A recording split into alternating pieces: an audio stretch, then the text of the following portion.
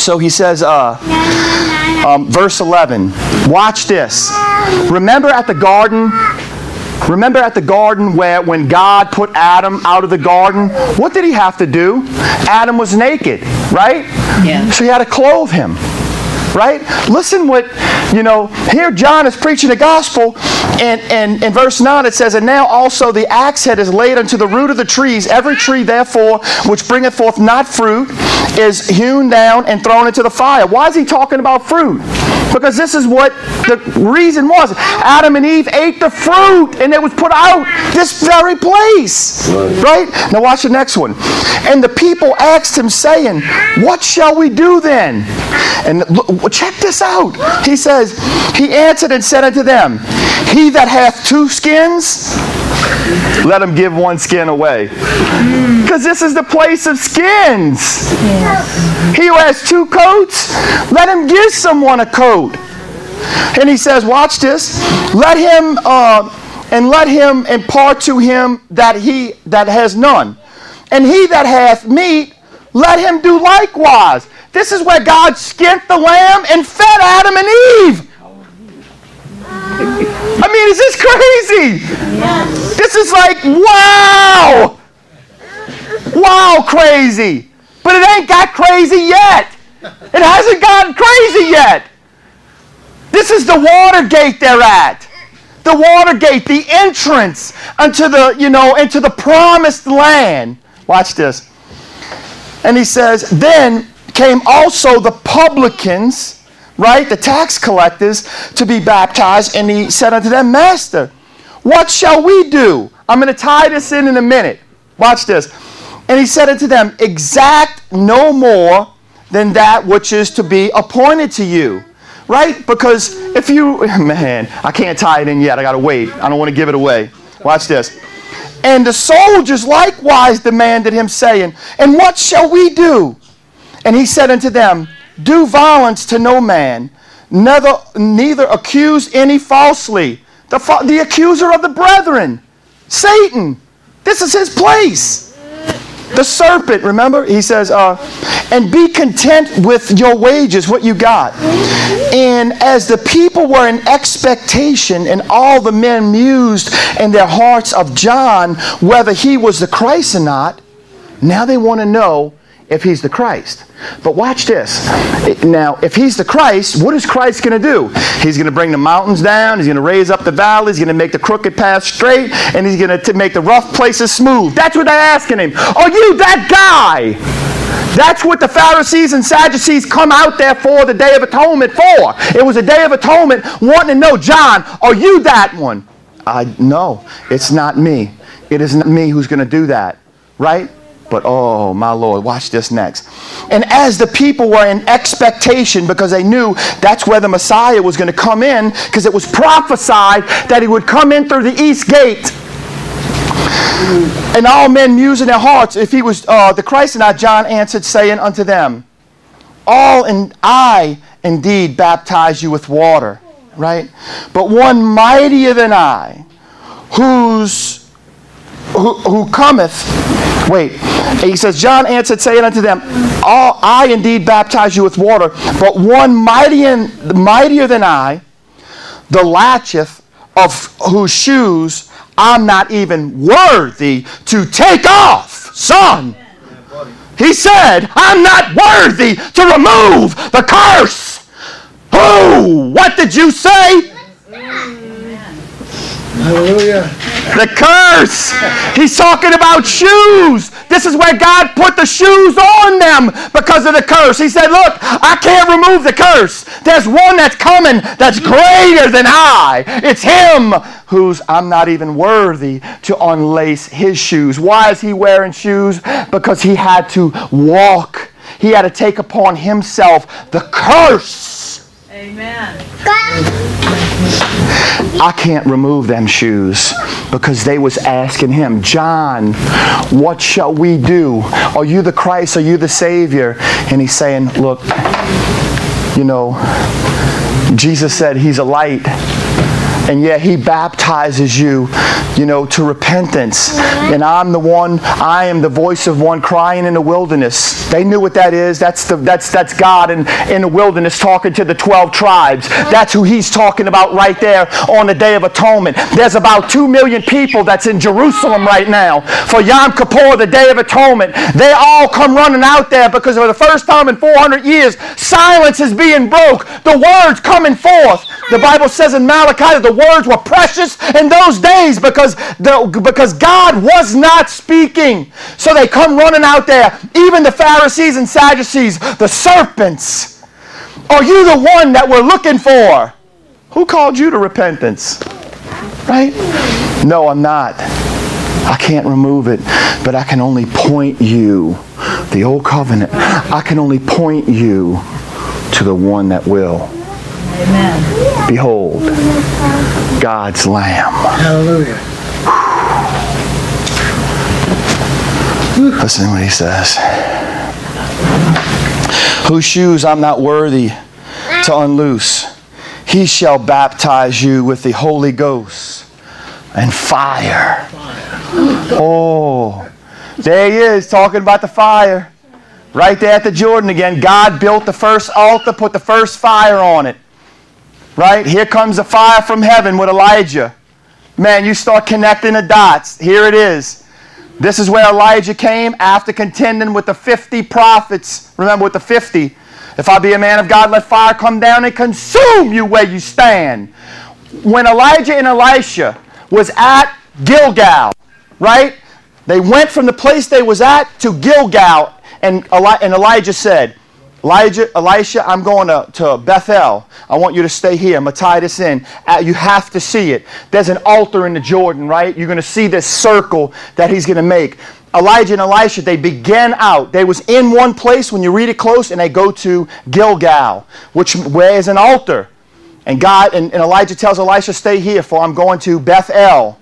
And he goes to Bethel. Well, that was another place of an altar. It was the house of God. It's where Abraham parted the animals in half. And God made a covenant with him, and God walked between the pieces. Wow. And from there, they went, stay here. The 50 prophets were there. We're going to Jericho. Oh, Jericho. Amazing Jericho. Amazing Jericho. Because Jericho was an altar too. What did, what? When Joshua crossed over, God made Jericho an altar and he said, Everything in there is mine. And they burnt it. Literally, it collapsed in. The great sound. They walked around the altar. Remember, 13 times. It all fell down, and they all went up and made a big sacrifice on top of Jericho. Jericho, it, it literally means fragrance.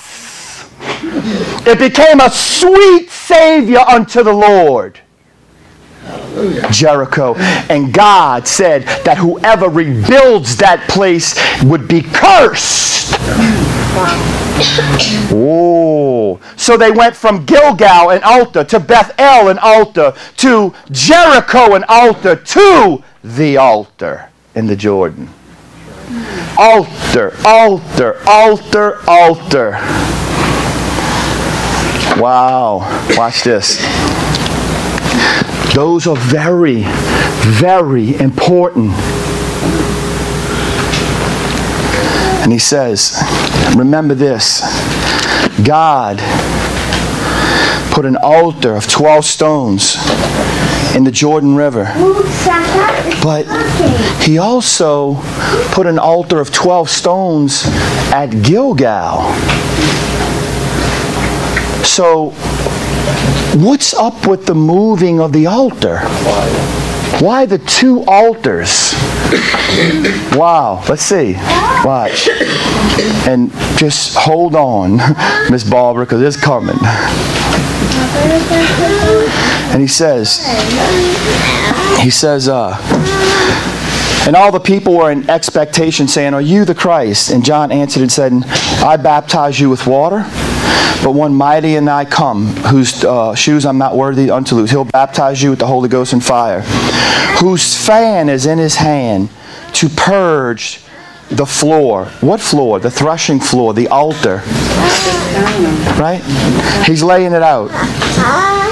Now, it says that after he says this, he says uh, there was a place of judgment. He says, but the chaff will be burned with unquenchable fire, and in many other things he began to say. Now, watch this. This altar that God, I know they, I know, but there's no way I can leave them out. I can't stop now. Watch this. So, this place that I just connected for you guys is of such significance. But God, just as He changed Yom Kippur and Passover, this altar represented Yom Kippur, the Day of Atonement. Which one? The one in the Jordan. But but there's another altar that was prepared for him by God. This altar right here just represents where Adam was put out of the garden. You see, Adam had sinned someplace, and God let him out to the east gate. The water gate opens. The water gate opens. The water gate opens. They go to the other side.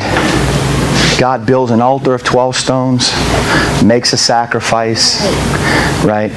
Brings judgment upon them right there.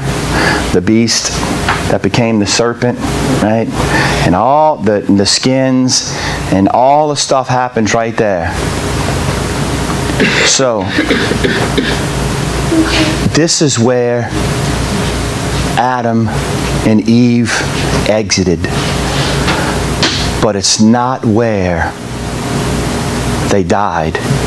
It's not where they ate from the tree. This is the place that they were brought to where judgment was set upon them. So now I want to take you to the other altar of 12 stones.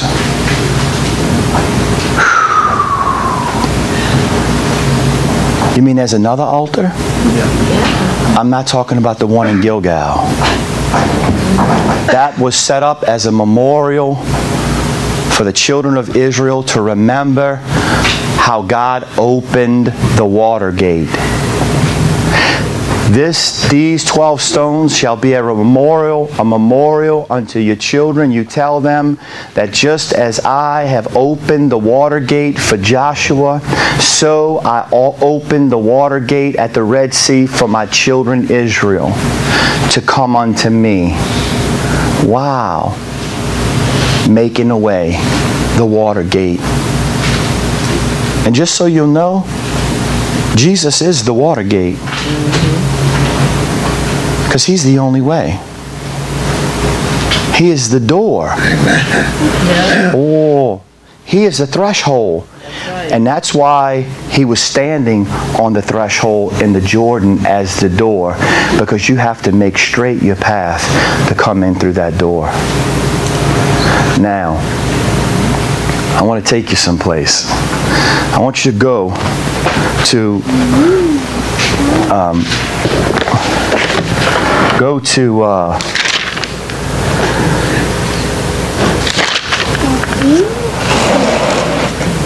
go to Luke chapter 19. Go to Luke 19. Man. Luke chapter 19. Now, to bring you up to date of what's happening here, this is seven days before Jesus is crucified. This is seven days before Jesus is crucified. Watch how the story starts. I told you guys that Jesus was crucified on a fig tree. Can, can the two, can the olive tree, which is a representation of the tree of life, could he have been nailed on a fig tree? Can the two be one? Watch this. Seven days before his path, before he's killed. Look where the story brings us to Jericho. Watch this. And Jesus entered and passed through Jericho. Hold on a second. Because so you'll understand that God's altar, God's altar, Jericho, Jericho was a city.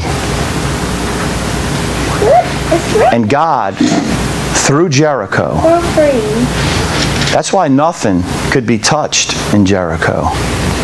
It was all God's. And I ain't going to even break it even further down with Achan because it goes even deeper. But Jericho is a representation of Jerusalem. How is that? Well, let's see. Jericho becomes the altar, God's altar. The 12 tribes of Israel traveled and circled it roundabout, right? But I think I remember a story of a woman that was in there called Rahab the harlot. That's right. She got to be saved. That's right. And her family by a scarlet thread that hung out the windows and on the doors. But hold on a second. Jericho, it was Rahab the harlot who gave birth to Boaz, the kinsman's redeemer. It was Israel, Jerusalem, that gave birth. The harlot, God called her, that gave birth to Jesus, the kinsman's redeemer. So now Jericho is a type and shadow of Jerusalem. So now the altar we're going to see how God created two altars. Two altars, but they both are one and the same. Hallelujah. What if I could show you? What if I can show you exactly what happened in the Garden of Eden and at the Jordan River takes place in Jerusalem?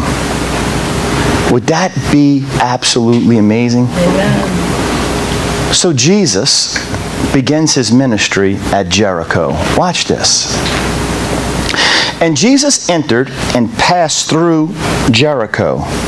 And behold, there was a man named Zacchaeus, which was chief of the among the publicans, and he was rich. And he sought to see Jesus, who was uh, who he was. He wanted to see who Jesus was so Zacchaeus, whose name means pure, climbs up into a fig tree. Sycamore tree. Yeah. A sycamore tree, which is a fig tree. He wants to see Jesus. Can the two become one? We have Zacchaeus, who is pure, a picture of Christ, hanging in a fig tree. And if you look close, if you look through Zacchaeus' life and what his name means, you can see Jesus because Zacchaeus wanted to see Jesus, and the Lord is saying, if we look into that fig tree, now, wait a minute now. Jericho, in Jericho is a fig tree? Mm-hmm. Zacchaeus climbs up in it. Well, the place that's known for fig trees is Jerusalem. Wow. Watch. So now Jesus comes riding in. And behold, there was a man named Zacchaeus who was chief among the publicans, and he was rich, and he sought to see Jesus, who he was. And he could not for the press because uh, he was of little stature. That was Jesus. Right. He wasn't regarded as anything. Right? And he ran before and climbed up into a sycamore tree. My Bible's got it broke down right here, a fig tree, to see him, for he was to pass that way. You see, Jesus is now coming. They don't tell you, but he's coming from the Jordan. And from the Jordan, he goes to Jericho. Because now he's making straight the path, right? He comes to the place where Jericho was God's altar. And he has to pass through that altar.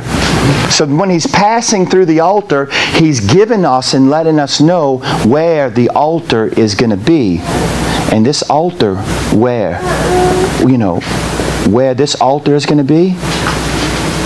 It's going to be where Adam literally grabbed the fruit off the tree and ate it, and he was right there and died. Wow. So you see, he becomes the lamb, but he's got to go to the very spot where Adam partook the fruit off of the tree. Oh, the fig tree. Watch this. And when Jesus came to the place, he looked up and saw him and said unto him, Zacchaeus, make haste and come down, for today I must abide at thy house. And he made haste and he came down and he received him. And when they saw it, they all murmured, saying, you know, that he was go- going to be a guest uh, with a man that is a sinner. You know, that's Jesus, right? And he says, And Zacchaeus stood and said unto the Lord, Behold, Lord, you know, the half of my goods I give to the poor. He got it, he understood it. And I have taken anything that I've taken from any man by false accusation, and I have restored it unto him. And Jesus said unto him, This day salvation has come to this house, for as much as he also is a son of Abraham. Hold on a second. Hallelujah. He just identified an altar there. The sons of Abraham were identified by 12 stones, and that was an altar. But this is seven days as he's riding it before, you know, this is weak. right? And he says, um, and they understood none of these things, and and this was saying uh, was hid from them, neither they knew the things which were spoken. Now, now I want to go to 19, and watch this. All the same chapter, all the same chapter. In 19, this is called the triumphal entry. It's called the triumphal entry. You're going to love this one, brother. Brother, The revelation that you're speaking from you saying right now, watch this. Watch this. And when he had thus spoken, he went before ascending up to Jerusalem. And it came to pass when he was come nigh Bethphage, that's the house of unripe figs, and Bethany, the house of sorrow, at a mount called Olives, he sent two disciples. So now, watch. I'm in 19, verse 28. Oh, Watch this. you said 19. I'm sorry, 1928. And when he was thus spoken, um, he went up unto Jerusalem, I, and he told them. Now, he tells his disciples, um, right here, he says, um, um, Go ye into the village. That's on the other side. He's on right at the foot of the Mount of Olives. There is Mount Moriah. There's a valley that separates them called the Valley of Jehoshaphat. The valley that water had ran through one time. A big river separated the two mountains. They right, you just walk right to the next one, right? He's right there and he says, Go ye into the village over against you, in which at your entering, at your entering into the gate of coming into Jerusalem, you shall find a colt tied, whereupon yet never a man sat. Loose him and bring him to me. Oh. You know why? This colt is called the beast. You see, Lucifer came in. Now, the serpent, which is the word nehas, which is the teninin, which is the beast. It says, Now the serpent was more subtle than any beast of the field, in which Lucifer came in on through the gate. Lucifer entered into a beast. So, guess what? Jesus, he comes riding in on a beast. A beast of burden. A beast that spoke as a man Yeah, the prophet. to the prophet Baal. Right. To do what? To curse Israel. That's right. He says that never a man sat on. Why? Because never a man ever entered or sat upon a beast that Satan had rode in on. It, had, it couldn't be. It's, he is bringing us back to the garden. Let's see. Let's see. Watch. This is where the curse is going to be removed. He says, And if any man shall say unto you, and if any man asks you, Why do you loose him? This, what happened to the beast that Satan used, the Nehas, the Tenenin, this dragon that lost its legs and was laid down to eat the dust of the earth? God is going to loose him and restore even him back to the way he was before. You heard me? How do I know that? Because that beast of burden that was tied to the water gate door. Oh, I didn't tell you that. Oh, let me just tell you. So, the Jordan was called the water gate Right. the east gate. Jesus is now right outside on this side of the valley where the waters, the valley of Jehoshaphat, God, Jehoshaphat will judge. The valley of judgment where waters went through at one time. He's on this side, right at the base of the Mount of the Olives, looking right there into the water gate, which goes into the city of David, is called the water gate. He says, You see that beast over there tied up? Go loose him.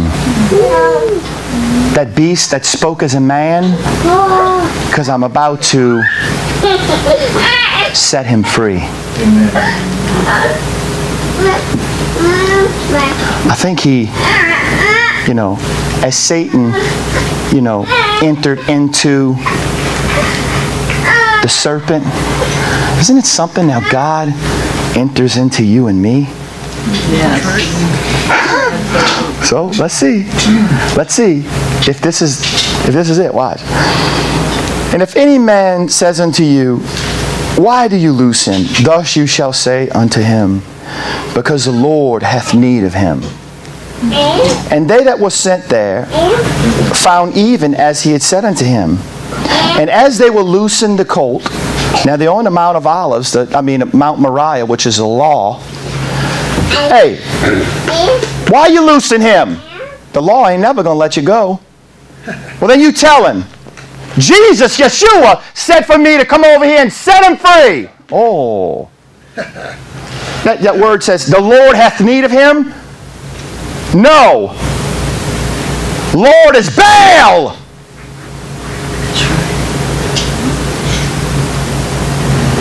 Lord, King James replaced how many times?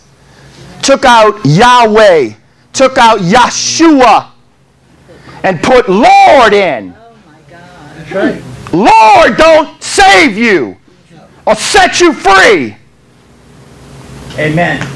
Yeshua said for me to come over here. The God of salvation told me to turn him loose and set him free.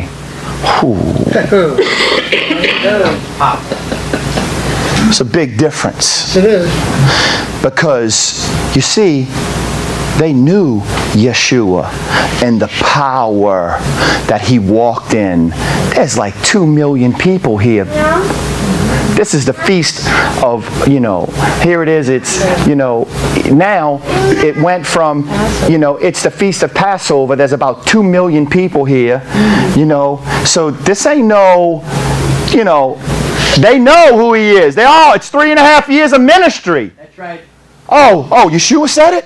The one who raised the, you know, the sick and walked on water and did this and did that? Man, get out the way because something's about to happen. Something is about to happen. Go ahead.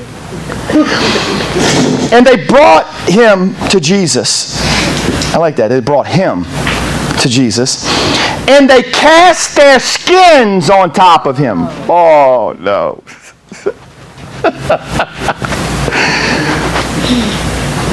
the garments, it's literally skins.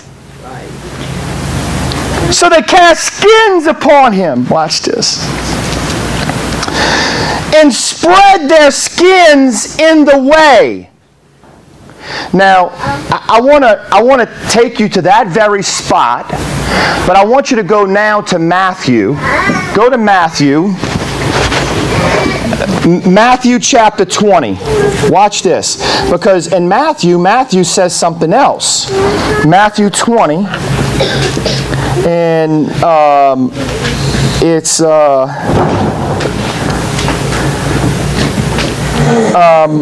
he says, um, No, you.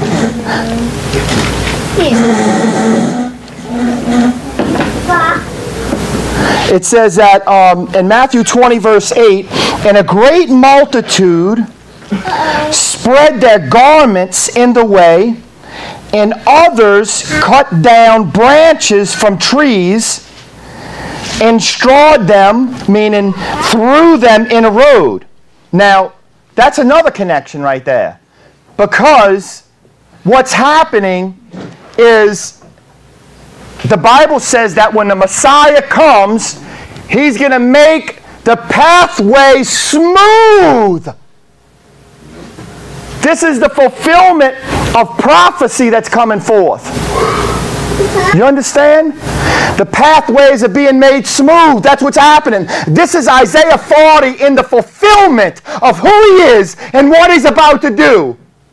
Now, let me, I got to go another place, and I want to go to, um, let me go to Mark 11 real quick. You could stay there because I want to show you Mark 11.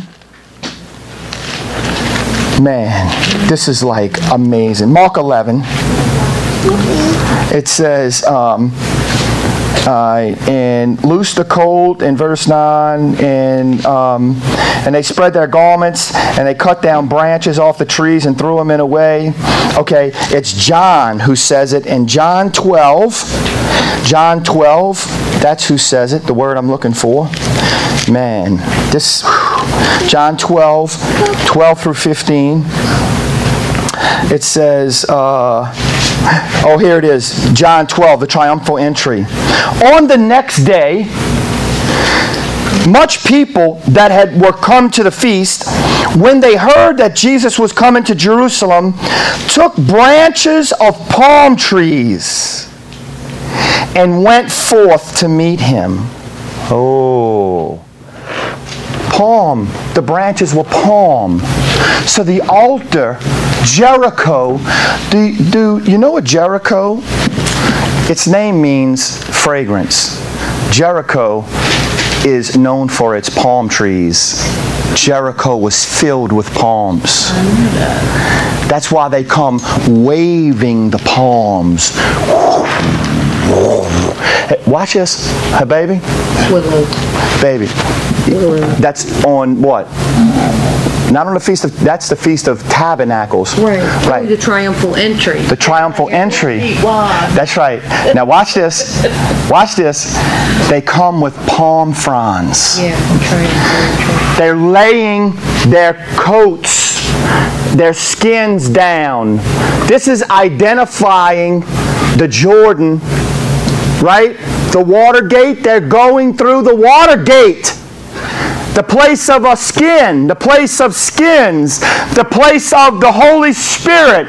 Jesus is riding in to the east gate. The east gate. There's three gates on the east side of Jerusalem. This is the water gate.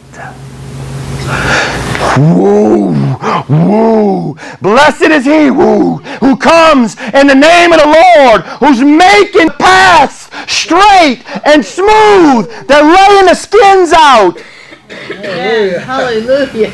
removing the curse. But wait, go back to Luke. Luke, what was it in Luke what?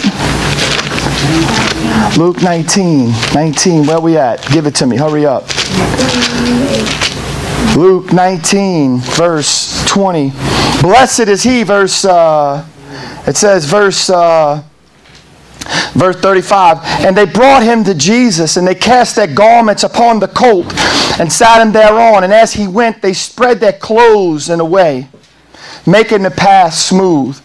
And when he was come nigh, even at the descent of the Mount of Olives, because you see, when you descend out of the Mount of Olives, right there at the city of David, at the water gate, it goes right back up. Exactly, I mean, it's nothing. I was there. It's right there. He says, and as he come nigh, even at the descent of the Mount of Olives, the whole multitude of disciples began to rejoice and praise God with a loud voice. With a loud voice. And all, uh, because of all the mighty works that they had seen, saying, Blessed be the King that cometh in the name of the Lord. Peace in heaven and glory in the highest. And the Pharisees from among the multitude said, That's the serpents. oh, so we have the serpents there now, right? They're at the gate, the water gate. Well, what was the water gate? Well, that was the entrance into the city of David. That was where they did all the baptisms at, every one of them, because that's where the temple was. Right? Watch this. I'm going to connect it for you. And he said, A master, rebuke them. Oh, and then he says something that is so absolutely amazing. Oh, Can we have an altar of 12 stones in the water gate? Mm-hmm. Can we have an altar of 12 stones there? Watch what he says. He says, And some of the Pharisees from among the multitude said unto him, Master, rebuke your disciples, thy disciples. And he answered and said unto them, I tell you that if these should hold their peace, Hallelujah. the stones would immediately cry out. What stones? I am so glad you asked me that question. I am so glad because the stones represented the children of Israel. The children of Israel are crying out. The stones are crying out. The 12 tribes